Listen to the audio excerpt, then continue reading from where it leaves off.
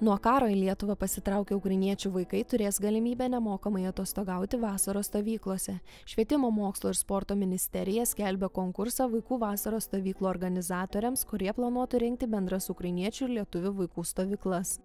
Numatyta, kad galės būti organizuojamos dieninės stovyklos ar stovyklos su nakvine. Jas bus priimama po lygiai iš Ukrainos atvykusių ir Lietuvos vaikų.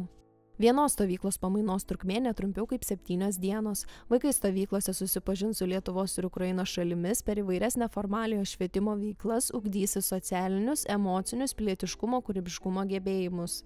Prioritetai bus teikiami stovykloms, kurių programos trukmė vienam mokiniui bus ilgesnė nei septynios kalendorinės dienos, kurių visos ugdomosios veiklos vyksta už bendrojo ugdymo mokyklos teritorijos ribų, taip pat toms, į kurių programas įsitrauk žmonės, mokantis ukrainiečių kalbą ar nuo karo į Lietuvą pasitraukę ukrainiečių mokytojai, turintys darbo stovyklose patirties. Norintieji organizuoti vasaros stovyklas ir gauti finansavimą, dokumentus turi pateikti iki gegužės 16 dienos.